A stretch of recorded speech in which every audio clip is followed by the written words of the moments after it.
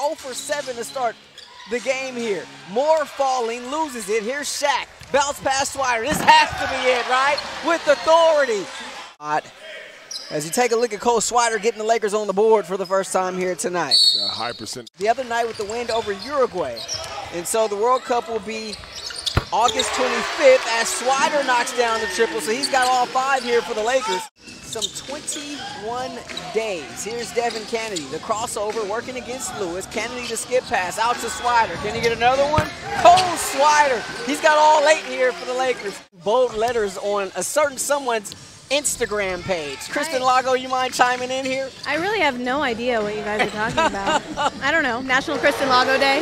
Look at that. Just for me, right? Here's McCoy who just checked in the game. Scotty Pippen Jr. a welcome side. Swider will try another three and he got it. Cole Swider. 58-53 here. Lakers on top. Swider. Tries a little dream shake there and Carton in to replace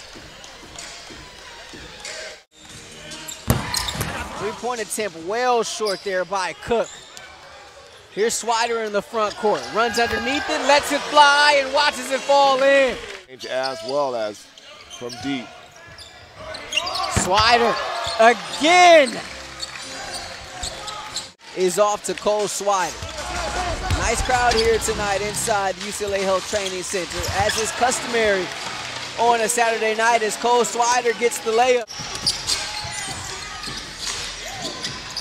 Here's Swider. Are you kidding me?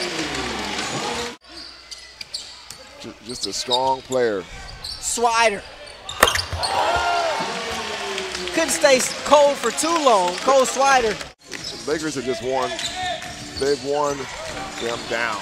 Here's Harrison on the steal. Harrison, the bounce pass, Swider.